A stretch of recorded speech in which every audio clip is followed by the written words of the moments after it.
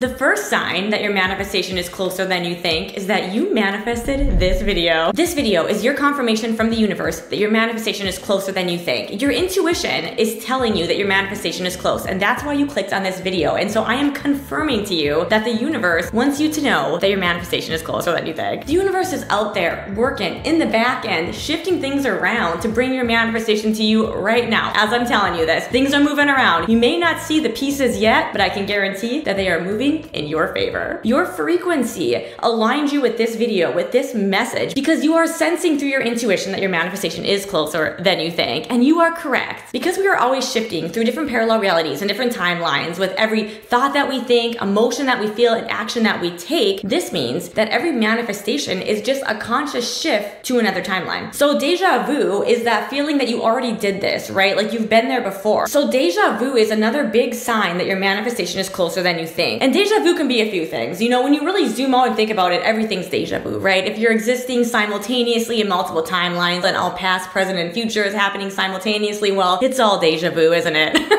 but that being said, when you are trying to manifest something and you start feeling those feelings of deja vu, this can be a symptom of your consciousness being aware of existing in two timelines simultaneously and being in the process of shifting to another timeline variation. So there's a timeline that you exist on currently, and then there's a timeline that the version of you that has your manifestation exists on currently. And so when you are manifesting, you are moving into this timeline. And so your energy is merging with this timeline. So when you get that deja vu feeling and you feel like I've done this before, that can be a symptom that you are experiencing both timelines simultaneously because you have done this before because these timelines are merging at a point where there's an event that exists on both timelines. And so deja vu could be a symptom of experiencing that event that connects the timelines. And so that creates this illusion that you already did this. You are tapping into another timeline at the same time time that you're tapping into your current timeline, aka deja vu. And it's a huge sign that your manifestation is close because it's a sign that you're at that tipping point where your timeline is now merging at the intersection of the timeline that you are merging into the timeline where you have your manifestation. Another big sign that your manifestation is closer than you think is one of two things. Either A, something new is coming into your life, a random person